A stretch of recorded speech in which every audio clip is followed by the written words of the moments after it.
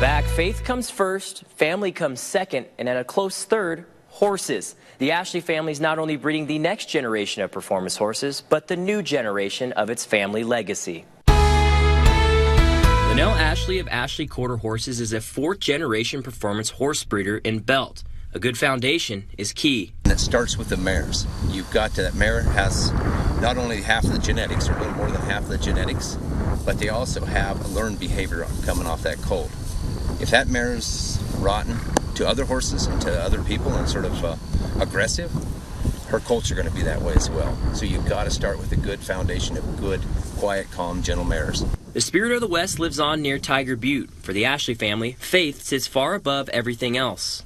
Linnell has a passion for pedigrees and finding new genetic crosses that create a quiet disposition in a horse. That quiet disposition is carrying on a family legacy in honor of family matriarch Louise Horn.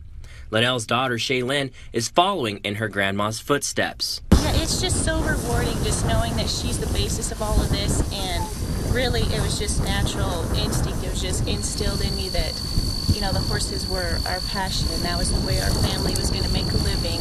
The operation is a family affair. It also includes Linnell's wife Kelly, his son-in-law John, and young buck Yukon. You don't take your own needs into accord, you got to take theirs into first.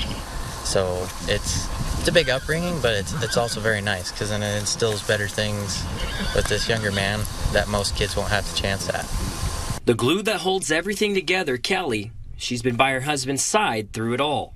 This is all he's ever wanted to do is, is raise horses, and like you said, the genetics end of it. Um, he's fascinated by genetics and how everything kind of meshes together, and and uh, uh, haven't had too many uh, instances where, where something hasn't worked. It's a great life that one day little Yukon will run, and there's no doubt the young cowboy loves every bit of it. Um, but it's, I mean, it's not always easy. And there are tears shed and stuff like that, but it's all part of it and we love it. And at the end of the day, everything's good and it's all, it's just fun to be around family. Quality horses produced by a family who's all about quality time. If there's one thing that I could say to the Ashley family right now, it's thank you for allowing me to visit their piece of heaven.